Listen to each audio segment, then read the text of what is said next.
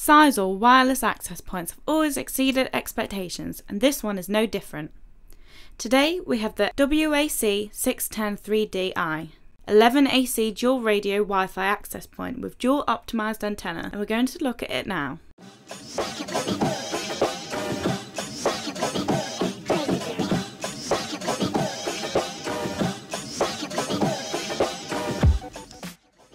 ZyXEL say that it's the industry's slimmest and first access point that can be mounted on ceilings and walls without compromising wireless performance. So let's get to the unboxing and see it in action.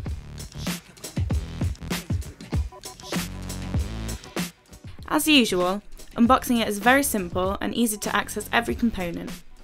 First we find the installation manual, which tells you in depth everything you need to know. And then we find the access point itself, Taking it out of the box, the first thing I notice is the slim and lightweight design of it in comparison to most other access points, which is fantastic for mounting it anywhere. Underneath the access point we found the mounting plate and the screws.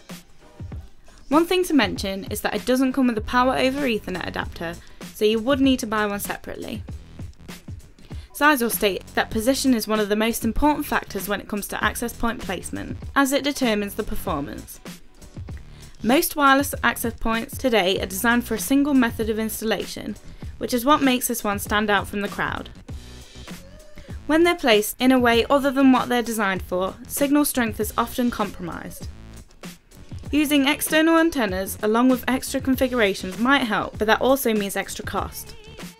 This access point is designed to overcome these limitations thanks to its dual optimized antenna, which enables the antenna settings to be adjusted according to the way it's installed whether it be a ceiling or on a wall.